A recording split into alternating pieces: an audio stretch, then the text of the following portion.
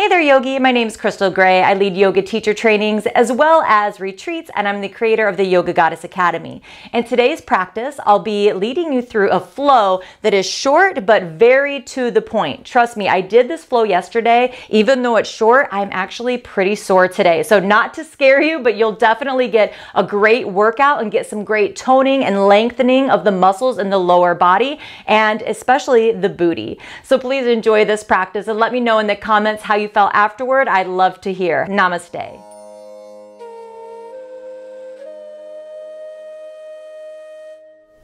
Start up at the front of your mat in Tadasana or standing mountain pose. Bring your big toes together to touch or separate your feet about one to two inches. Ground down into all four corners of the feet. Squeeze the quads so you don't hyperextend or lock the knees. Neutral pelvis, so front hip bones level to the back hip bones and reach the back of the crown of the head up towards the sky, lengthening the spine. Find your gazing point or drishti. This helps you to focus. And then start to bring your attention to the breath. As you inhale, draw the lower belly gently in and up. Expand the low ribs, mid ribs, all the way up to the collarbones and upper back. Exhale, upper back, mid ribs, low ribs, belly. Repeat that. Letting the breath slow down Connecting to the breath helps you also focus on the present moment and calm the mind. Breathing in and out through the nose. Use your ujjayi breath if you're familiar with that, valving the back of the throat, making that sound. One more thing to help you keep present. Now, as you exhale, ground down. Inhale, reach your arms up overhead, wrap the shoulders, palms touch.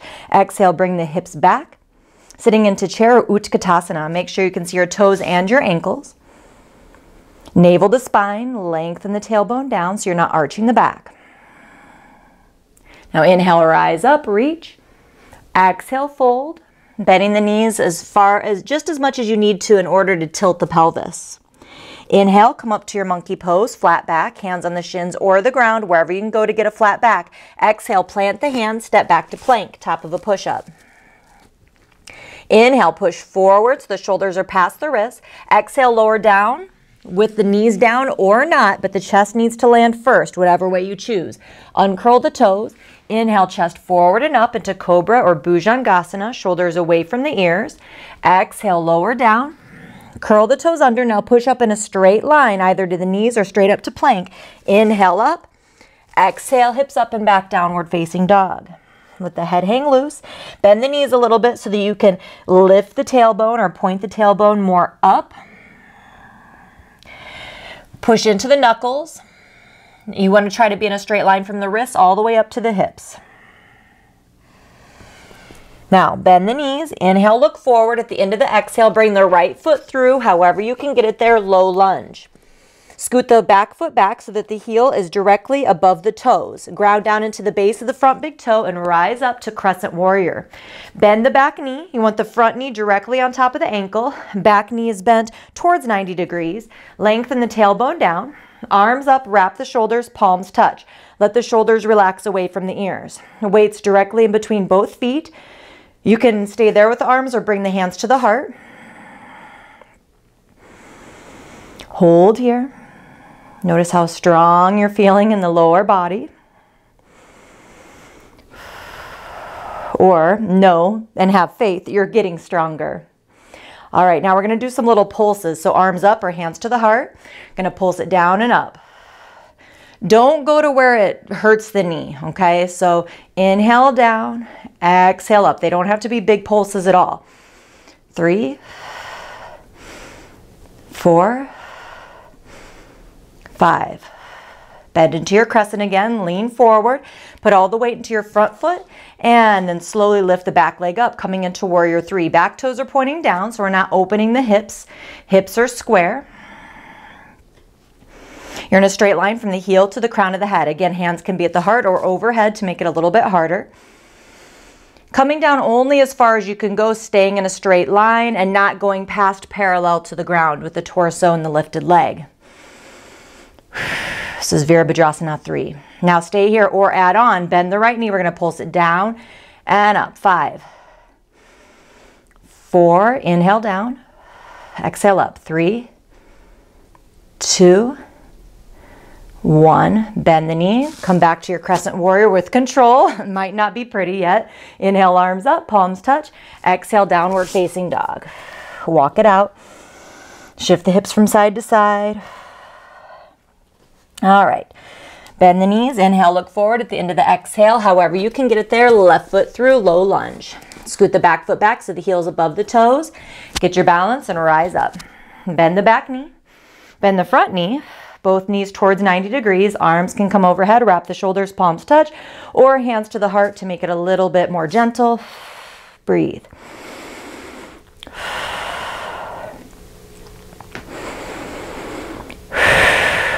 Okay, now let's pulse. Inhale down, exhale up. Pay attention to your knee. Inhale down, exhale up. In yoga, we never push through any pain or any signals the body's giving you. Two more.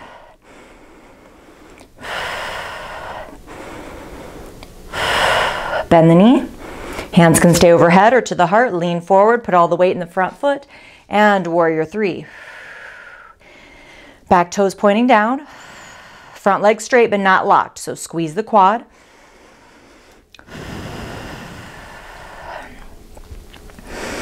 Bend the front knee and pulse it down and up. Five. Inhale down, exhale up. Four, three, two, one. Bend the knee and bring the back foot back. Crescent warrior. Inhale, arms up, palms touch. Exhale, downward facing dog. Walk it out. Shift the hips. And inhale, come forward to plank, shoulders past the wrists. Exhale, lower with or without the knees. Chest lands first. Uncurl the toes. Inhale, chest forward and up, cobra. Exhale, come down, curl the toes under. Inhale, push up. Exhale, hips up and back, downward facing dog. Again, bend the knees so you can tilt the pelvis forward and get the spine nice and long and straight. Roll the shoulders away from each other and roll the forearms in, knuckles heavy.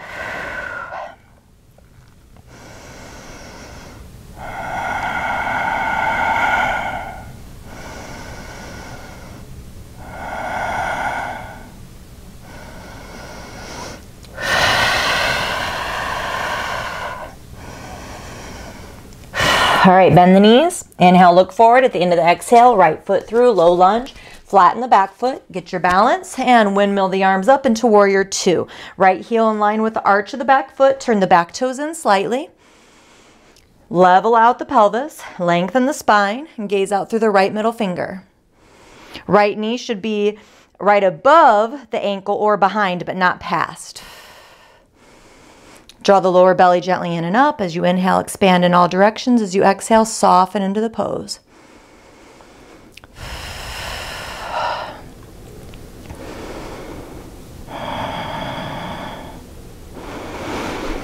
Go a little bit further if possible and really feel the legs getting stronger. You might feel them shaking a little bit. Just make sure the knee doesn't go past the ankle and you're not feeling strain. Inhale, lengthen the spine. Exhale, windmill the hands on either side of the right foot, downward facing dog. Full stretch, bend the knees. Inhale, look forward. At the end of the exhale, left foot through, low lunge, flatten the back foot, windmill the arms up. Warrior two.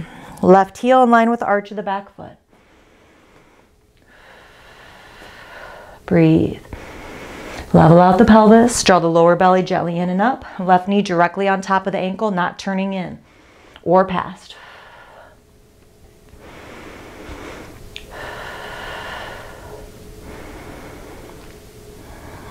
Go a little bit further if possible. If you're not near like 80, 90%, then you can go a little bit further.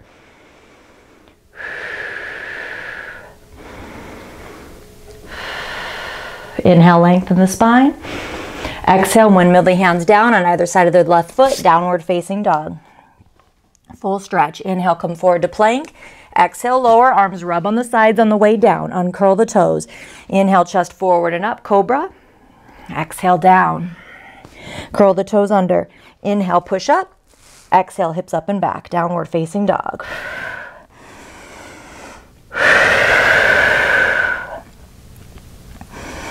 Breathe here. Roll the shoulders away from each other. Roll the forearms in.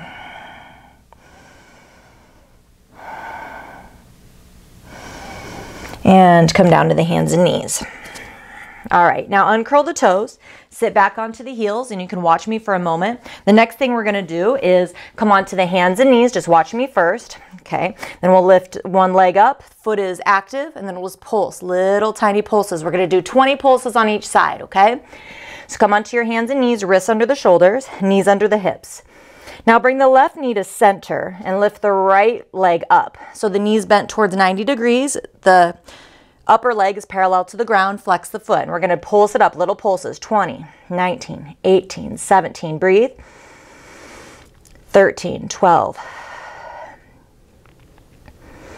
6, 5, 4, 3, 2, 1. Release. Switch it out. So right knee to center, lift the left. Keep the hips square, pulse it, 20, 19, breathe. 10, Four, three, two, one. Release. Downward facing dog. Bring the big toes together to touch. Lift the right leg up. Bend the knee, open the hips. Only if this feels good. You don't have to lift the leg. All right, now bend the knee, look forward. Inhale. Push back, exhale, right knee to the outside of the right wrist, foot swings over to the left for pigeon pose. Now, you do not want to grab the foot and yank it up. It doesn't matter if the shin is parallel to the front of the mat. Okay, that's a common misconception. Now, curl the back toes under and you can walk bring the front knee back if you need to feel more sensation. If you don't, then stay right there. Back leg is parallel to the long edge of the mat. You can uncurl the toes. Keep the hips square, so don't fall off to the side. Keep them square. Hold here and breathe.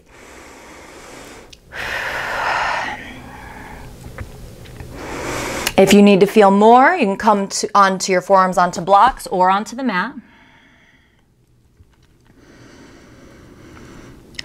Again, keeping the hips square, not dumping off to either side. If your forehead can rest on something, that's a little bit more relaxing.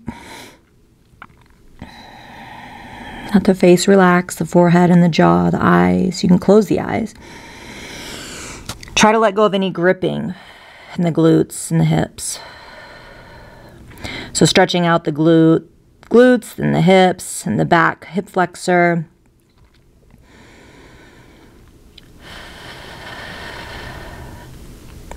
And then slowly come up. Now, we want to stretch the back quad as well. If you already feel a sensation in a stretch here in the back quad, then just stay here.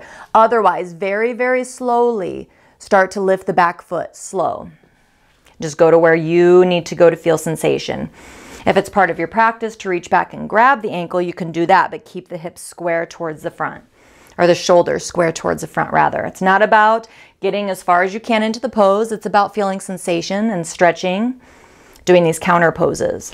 From here, curl the back toes under and lift the same leg up and back, three-legged down dog. If this feels good for you and just move it around, releasing the leg from the pose. All right, now both feet down. Inhale, left leg up. Exhale, bring the left knee to the outside of the left wrist. Foot swings over to the right side. Again, do not grab the foot and yank it over. You can curl the back toes under and then walk it back a little bit to feel more sensation. Uncurl the back toes. Back leg is parallel to the long side of the mat. Toes pointing back, hips are square. Stay here or forearms onto blocks or the ground. You can stack the fists and place your forehead onto the top fist. If you did this last time, just switch the fist that's on top. Relax the face, relax the jaw.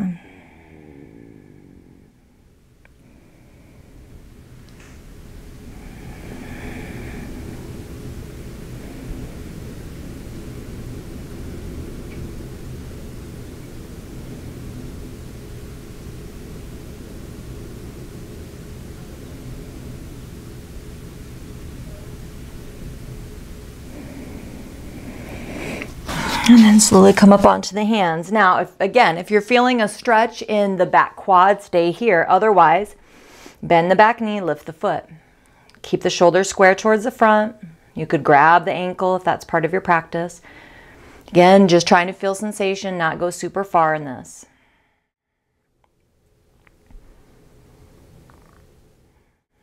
And then release. Three-legged dog. Lift your left leg up, move it around. And then come to the hands and knees, swing your feet around and come to seated, both legs out in front. Come to Dandasana, seated staff. So legs are at, feet are active. Push into the heels and the balls of both feet. Pull the flesh back away from the sitting bones. Now, if this is hard for you to keep a neutral pelvis with your front hip bones level to the back hip bones, like if your tailbone keeps tucking under, bend the knees, then you should be able to bring it more into neutral. Reach the back of the crown of the head up towards the sky. Now do a big shoulder roll. Inhale, lengthen. Exhale, tilt the pelvis forward. So keep the knees bent for now. Inhale, lengthen. Exhale, tilt the pelvis forward. Now you should be in a straight line from the hips and the tailbone, the sacrum, all the way up to the crown of the head. We don't want to round and bring the head down to the knees. Even though I know that's probably what you want to do. Reach the chest forward and up. Relax the shoulders away from the ears. Now, if you can keep your torso exactly like this without letting it round, then you can straighten the legs.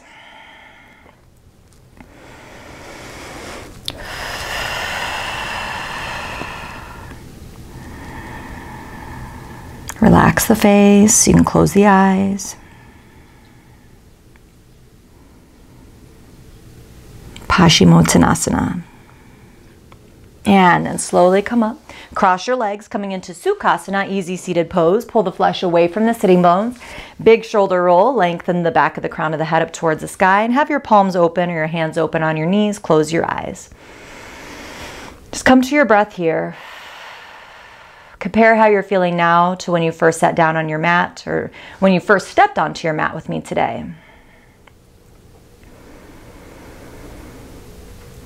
Compare how you're breathing, how your body is feeling,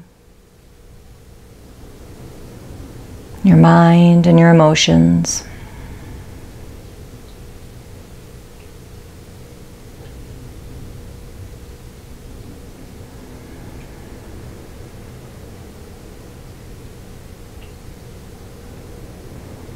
And circle your hands together in front of your heart into prayer, having your thumbs gently touch your heart center. We'll close our practice and our time together with one Om, but after this Om, I highly encourage you to lay back flat onto your back on your mat and take a 5 to 15 minute Shavasana. But for now, let's close with one Om. Take a deep breath in. Ah.